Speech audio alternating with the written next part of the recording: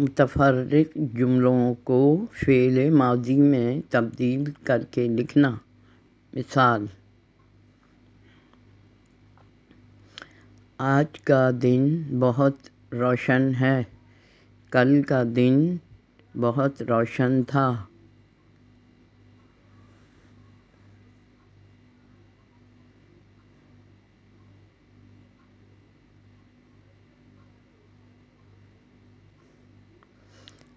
अचानक जद, अचानक ज़लज़ले से दुनिया खौफज़दा हो जाती है। अचानक ज़लज़ले से दुनिया खौफज़दा हो गई थी। अच्छे इंसानों की सब तारीफ़ करते हैं।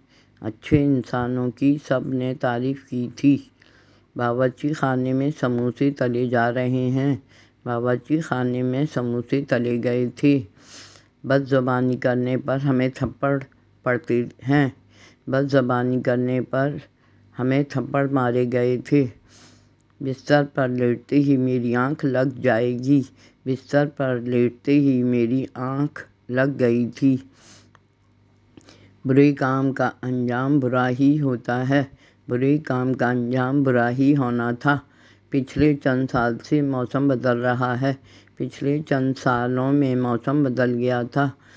फलों और दूध के इस्तेमाल से चेहरे का रंग निखर जाएगा।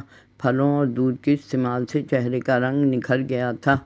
तीन घंटे के बाद भी गोश्त गलने का नाम नहीं ले रहा है। तीन घंटे के बाद भी गोश्त गलने का नाम नहीं ले रहा था। जब हम गाँव पहुँचेंगे तो सुबह हो चुकी होगी। जब हम गाँव पहुँचे तो सुबह हो गई थी। जल्दबाजी का काम जल्दबाजी काम ख़राब कर देती है। जल्दबाजी ने काम ख़राब कर दिया था। जंग में हमारी तोपें आग बरसाएँगी। जंग में हमारी तोपों ने आग बरसाई थी। चीन तमाम हालात में पाकिस्तान का साथ देता रहा है।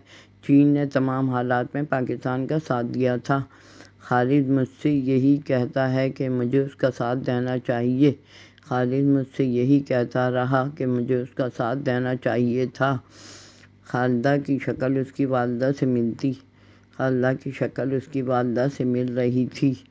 दर्जी मेरे कपड़े तंग सी देता है। दर्जी ने मेरे कपड़े तंग सी दिए थे। दिन रात की मेहनत राशिद को कामयाब कर देगी। दिन रात की मेहनत ने राशिद को कामयाब कर दिया था। दुनिया में इनकलाब तलवार से नहीं प्यार से आया है। दुनिया में इनकलाब तलवार से नहीं प्यार से आया था। सूरज की तेज़ रोशनी आँखों को अंधा कर देगी। सूरज की तेज़ रोशनी ने आँखों को अंधा कर दिया था। सूरज मगरिब में गरूब हो चुका था। सूरज मगरिब में गरूब हो गया था।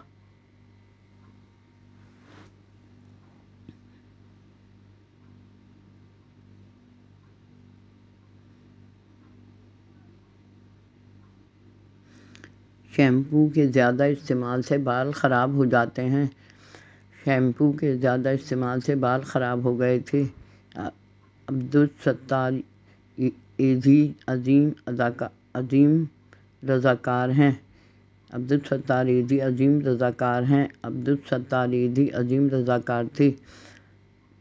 अजीम कौमें अपने किरदार और तख्लीकी खूबियों से पहचानी जाएँगी।